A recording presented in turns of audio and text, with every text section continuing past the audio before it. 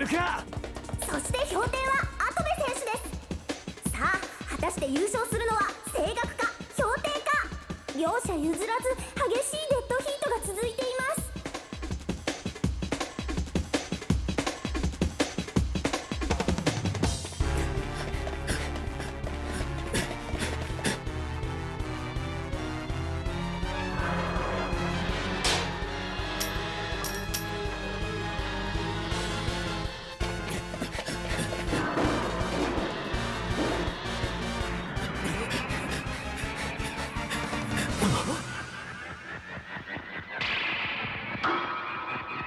手塚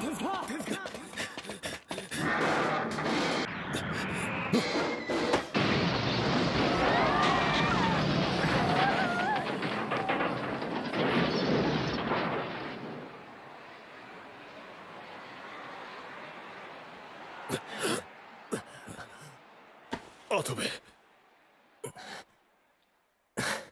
勘違いするんじゃねえ。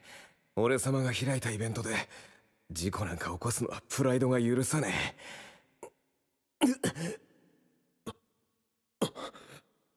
え。痛めたのか？ちょっとひねっただけだ。お前の腕に比べりゃどうってことはねえ。